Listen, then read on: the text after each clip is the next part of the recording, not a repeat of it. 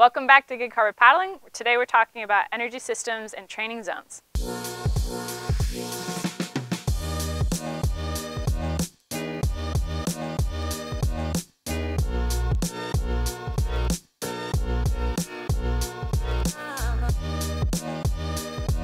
Here at Gig Harbor Paddling, we like to talk about zones. If I just tell a paddler to go do a workout, they might go super easy, they might go super hard, and so they need instruction on what part of the range to execute the workout at. So we start with zone one, then go to two, three, four, five. I'm going to talk today about what those zones are in relation to the energy system, and then we'll talk about how to use that for your race strategy. Before we get into the individual zones, we're going to talk about the energy systems of the body. So there's some people that'll add on a few systems and get super specific, but we're just going to stick with the simple three. We have the phosphagen or the ATP PC system. We have the glycolysis or the anaerobic system. And then we have the aerobic and oxidative system. I'm just going to quickly run through the way that we like to think of these systems. The first section right here, I'm talking about what fuels these systems. So ATP is this energy currency in our body. That's what makes your muscles move. That's how you're able to function is ATP. It's adenosine triphosphate. I'm not going to get into the molecules and chemistry of all, but I just want you to understand that you have this storage of ATP that you can use up at any second, but it only lasts two to 10 seconds.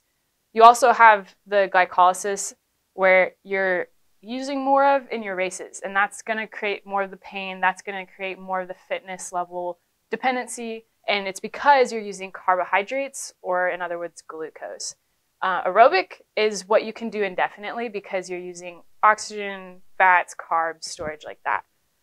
For the phosphagen system, I want you to think more explosive the first part of your race, so the start, there's no waste. But when you get to glycolysis, the reason why you feel so much pain at the end of a race and because your muscles stop working and you feel like you're barely moving is because there's a lot of waste. There's byproducts because of using the glucose. And so you're going to be creating pyruvate, this thing called NADH, lactic acid, which we all know about, but you're also creating ATP. And with the aerobic system, you only really are, uh, the byproducts are only CO2 and H2O. So you're going to pee it out or you're going to breathe it out.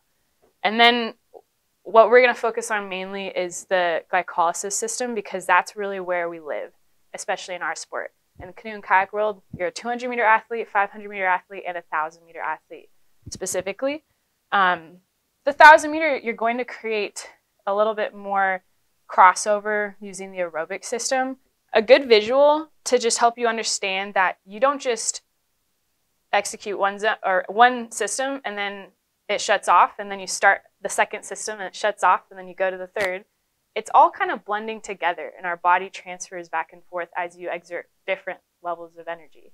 So this graph kind of helps you understand that the higher power you're demanding, um, which system is going to last how long. So right here, this shows you that the ATP or the phosphagen system, it, it's starting high because it's already there. You don't have to develop it. It doesn't have to, have to ramp up. It's going to be lasting you two to 10 seconds. This is what you were given when you were born. You're not going to be able to develop this greater. It's just the storage that you were born with. Um, then the, you see, though, that even though you just started your race, for instance, and you're using that 10 seconds of free energy, that ATP, you're still generating the kickstart of the glycolytic, glycolytic system. And so this green line shows you it's kind of blending in with the ATP PC system. Everyone gets twisted on that, don't worry. And you're going to probably die off around two minutes if you're fit. Again, these are all ranges because it depends on your fitness level, but this is typically what a good athlete is going to die off at is around two minutes.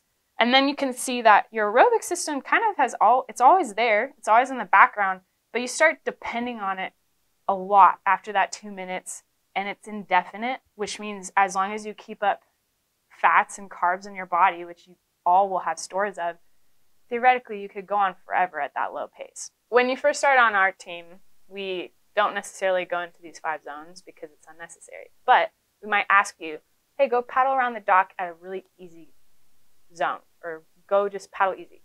And then maybe you paddled for a couple months, like, hey, go around that piling, but go go medium, go like 50%. And then maybe by the end of your development phase, we're gonna say, all right, you're racing, go all out. And so you're just going as hard as you can in the boat. Easy, medium, hard. Everybody knows it. But we're gonna get you a little bit more technical. So we're gonna talk about our zones. Zones one through five. Zone one, you're gonna be able to talk easy breezy, super conversational. You're basically going on a walk with your friends. So in the paddling world, that workout is going to be like a 60 minute recovery paddle. We're going to want to train this depending on the season of the year, uh, somewhere between two to three times a week your heart rate is going to be 35 to 45 percent of your max. Just so you guys know, the general way to find your maximum heart rate is 220 minus your age. Super general way to figure it out.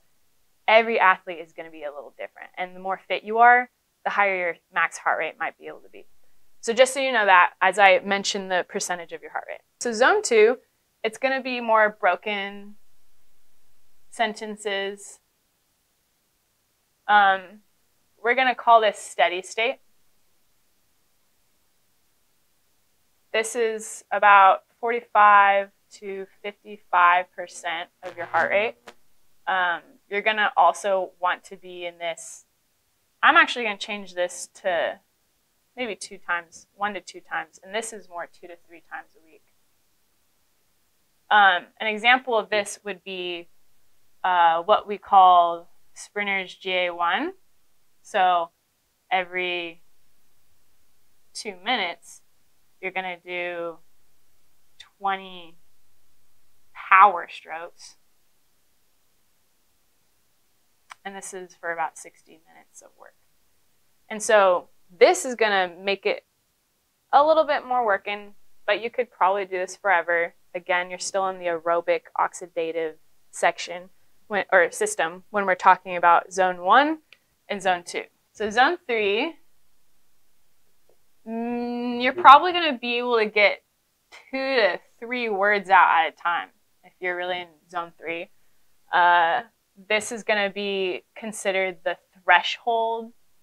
Everyone should be familiar with that pace. Um, slash, now we're working. So threshold is going to talk about this beautiful transition into the pain cave, aka glycolysis, aka lactic acid. Um, and just so you guys know, lactic acid is actually not the reason why you're hurting. The lack of lactic acid is. So if you have a higher rate of lactic acid production, you're going to be able to take a lot of this waste and turn it into ATP. It's really the NADH that's causing you pain. So become a little bit more friendly with lactic acid, and maybe they'll help you out, and you won't feel so painful as you step onto the threshold of zone three, four, which is glycolysis. So um, just talking about this step over, that's what threshold means. And sometimes people even talk about the lower threshold and the higher threshold, which we're going to reference a little bit between zone three and zone four. So going back to over here at the heart rate, there's going to be a little bit of a range here because this is where your fitness level really stands out. The fitter you are, the higher percentage you're able to hold for longer, the higher percentage of your heart rate.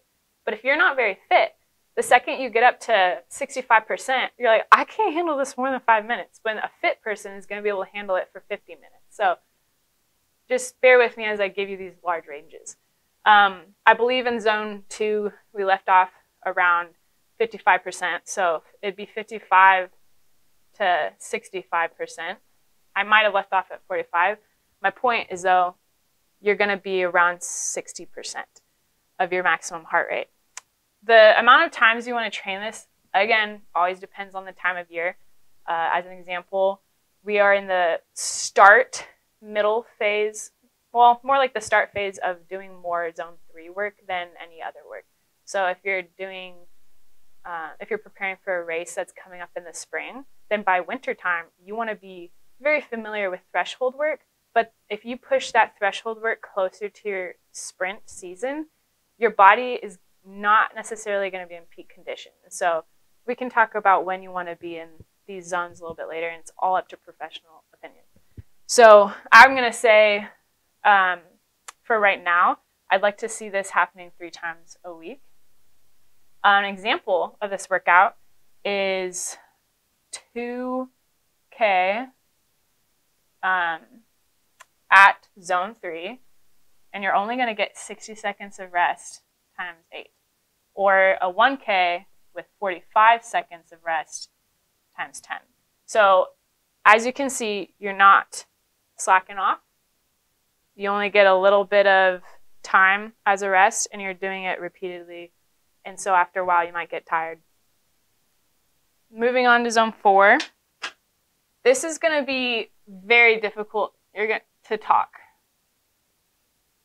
This is where it's starting to get super difficult. You're breathing super hard. Um, upper threshold, you could call it, as a description. Your heart rate is going to be more 65 to 75 percent. Um, this creates a lot of fatigue. So I actually don't want you to do this too many times in the week. So I'm going to say more about two times a week. And again, this is for athletes that are practicing up to nine times a week on the water when I'm talking about how many times a week. If you only practice three or four times a week, a lot of these numbers are going to be off, but you can kind of get the gist as long as you keep in mind that this is for a very dedicated elite athlete kind of practice schedule. Um, an example of this kind of workout is going to be more about i am going to go off of the example I gave you before of a 2K. Um, maybe you get 75 seconds of rest because you're going harder. You're doing a higher intensity. So if you're going to last in a workout, you're going to need a little bit more rest. Maybe not as much reps. And then you work up your resistance, and maybe eventually you'll be able to do eight quality reps. Um, an example of a zone four for this one would just be adding, oops, adding up to 60 seconds of rest times eight, and then eventually moving up to 10 reps of that. And lastly, we have zone five. So this is the max. And sometimes when you're in a 500 meter race, you're not actually going to get to your max heart rate, but your max effort level. So um, for training, though, we're going to say, I think we left off around 75%, that it's going to be around 80 to 100% of your max heart rate. Talking test, there's no talking. Maybe after the race is over, you're able to say, good job, guys. Um, this is as hard as you can go. Again, 80 to 100% of your max heart rate. How often to train this? Man, if you are getting you're six to eight weeks out from your first race of the season or your big race of the season, then I would start adding it in maybe once every 10 days or something. Um, once a week or so. An example of this kind of workout is going to be tapping into this system, your phosphagen system. Um, this is going to be 10 to 15 seconds as hard as you can. And then to recover that, two minutes of rest. We're going to talk about your heart rate and stroke rate. So heart rate, whenever I, I talk about, I'm just talking about percentages. Again, your maximum heart rate is going to be close to 220 minus your age. So 100% of a 30 year old's heart rate is going to be 190 theoretically. And so then when you take 65% of that, you just multiply 190 times 0.65. And that's how I find my zone three ish percent. The issue that you're going to have with some athletes who have higher fitness levels than others is that you don't know specifics. And so the more elite of an athlete you become, and I'm talking like you're in A finals at the World Cups, you are starting to put the Olympics in your sight, and you are an elite athlete legitimately, you're going to want to go get VO2 max tested. You're going to want somebody to put a mask on you to measure your oxygen uh, intake, outtake, take blood lactate to see what you're producing, and then they're going to be able to tell you your max is 190. for sure. And then you're going to have such a more specific training regimen and you're going to be able to improve a little bit more exactly. But if you're in a club level, you don't need that as much. You really just need to do every workout according to the workout. So that's why we have these different percentages. Zone one, your heart rate is going to be 35 to 45% of your max. Again, a walk in the park with your grandma, or in the harbor, you're dock ducking. It's just dilly dally paddling. That means your stroke rate is going to be less than, I'd say, 60 strokes per minute. So uh, 60 stroke per minute.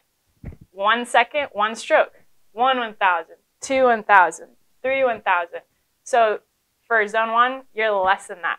And if you're a canoer, it's not exactly half of that, but it's close. It's going to be more like a 20, a 20 to a 25 stroke. And sometimes that's even harder because you have to hold yourself in the air a lot more, but that's a technical thing for later. So zone two, 45 to 65% of your maximum heart rate. This, I want my kayakers to be at 60 strokes a minute. I want my canoers to be 28 to 30.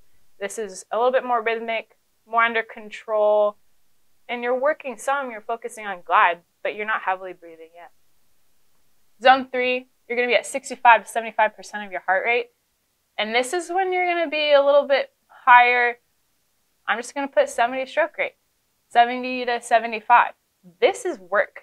You're going to be trying to move the boat a lot per stroke. You're not dilly dallying. You're maybe getting in a couple words a sentence if you're trying, but you shouldn't be talking during zone three.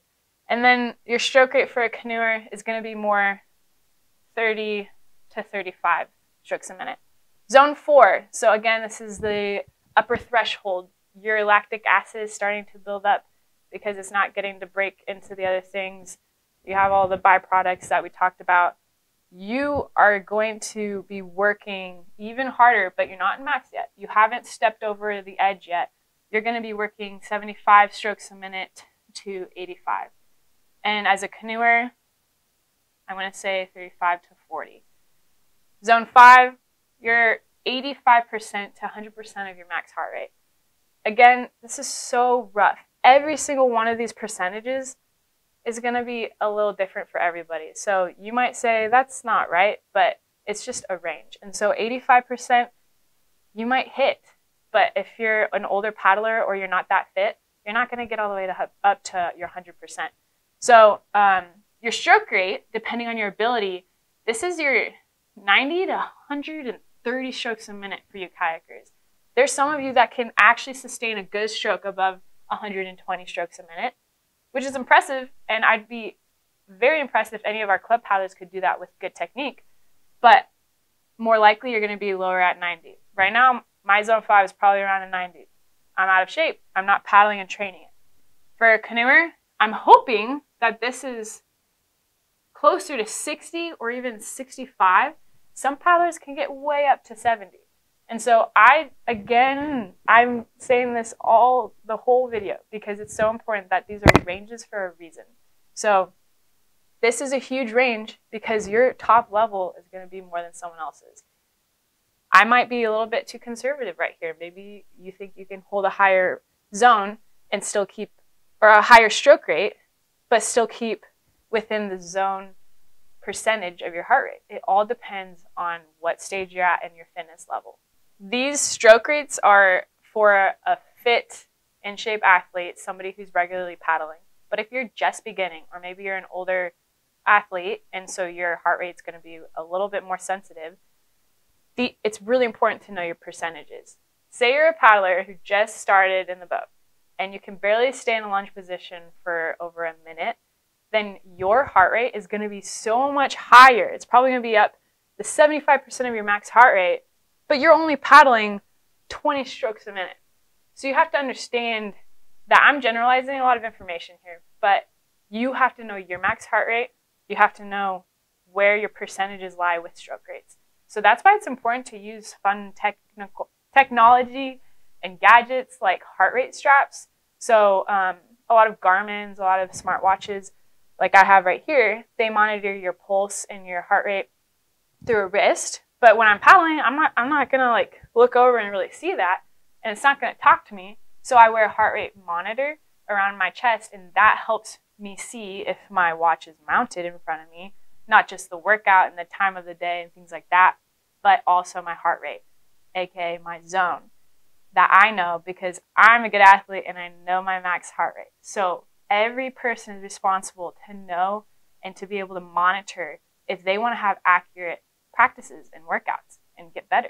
So you got to work with your coach. You got to get the right equipment. You got to get the watch holder. You got to get the right watch for you. You don't need a super fancy Fenix Garmin, which is thousands of dollars or whatever. You just need a watch that's going to give you the information that you need.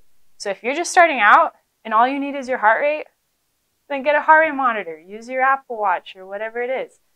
But as you get older, you might want to get a stroke rate counter and you might need a Bluetooth setting for that. So maybe a more expensive watch or gadget. But it's nice to have both your heart rate and your stroke rate so that you can really monitor not just your effort level for that day, but as an example, if you know practice after practice, this one workout, your heart rate's always at 75% of your max. And that workout calls for a 35 stroke rate as a canoeer. And then suddenly you do that same workout another week and you're doing 35 stroke rate, but suddenly your heart rate's at 85% or 90% of your max. That is a huge indicator for your coach and you to know, I might need some rest. I might need to take it back a little bit. I need to take a practice off because those are signs of being overtrained and things like that. And if you're just on a club level, it's very unlikely that you're getting there. But what I'm saying is there's tools for you to watch and monitor that, not just your effort level, which you should know internally, but also just your physiological happenings of what's going on inside. Another way to know if you're actually getting a little overtrained is your resting heart rate. So a really cool thing with these watches, if you wear them at night, you can watch on the app and look what your lowest heart rate was when you were sleeping. And that typically is a really accurate version of your resting heart rate. We've been talking this whole video about max heart rate. What about your lowest heart rate? That's an indicator of how fit you are as well. If you have a 60 beats per minute resting heart rate, pretty average. If you are a triathlete or a rower on the Olympic level, your heart rate's probably gonna be like 35 to 40. And so it's a huge range of resting heart rate, but the point is to know it. So if you take your resting heart rate every single day for a week, take it at the exact same time of the day, so right when you wake up, you'll know what your average resting heart rate is. And then if one day you wake up and it's five, ten beats higher than normal, hey coach, I think I'm getting really tired. My body is telling me because my race, my resting heart rate is like five to ten beats higher. So another really cool way to know how your body's doing with all of the training going on. So at Gig Harbor Canoe and Kayak, we have three groups. The third group is our developmental group. These are kids that are learning about our team, learning about how to carry boats well, how to paddle around the harbor safely, how to get into a, a racing kayak or a racing canoe, and they're learning about workouts, but they're really just having fun and learning. Group two are kids that want to go to nationals. They're in a racing boat, they know how to work out, but they're learning how to train well. Group one is an is a group for athletes that want to race internationally and that are very competitive at the national level and that they're learning how to race well. They already know how to train. They're using their knowledge and training to race at a high level. Expectations. When you get to group two, we want you to have a watch. We want you to know the workouts by heart, what you're doing that day. Group one is the highest level for us right now. And this is the athlete who's typically high school age and higher because of the demands of the sport and the physical and mental maturity it takes. Of course, you're going to need to know the workout ahead of time, but I expect you to have it in your watch. I expect you to have a GPS watch. I expect you to have your heart rate and your stroke rate easily available for reference. So if I say, hey, what stroke rate are you at? If I tell you, go to a 65 stroke rate, you need to know what that is and how to get there, or if you're already there you definitely should have water bottle. You definitely should have your resistance for if a resistance workout comes up. But if you don't know these zones, if you don't understand the energy systems, then definitely get with us coaches, talk about it with us. Sometimes information doesn't come to other people as easily, or it needs to happen in a different way. But in group one on our team, you're going to know what zones are, and you're going to know what your max is. You're going to know your stroke rates. You're going to know how that relates to your racing plan and practice. If you have any more questions about training zones or energy systems or practices and workouts for yourself, don't be afraid to comment below. Make sure you like and subscribe as well, and we are happy to help you.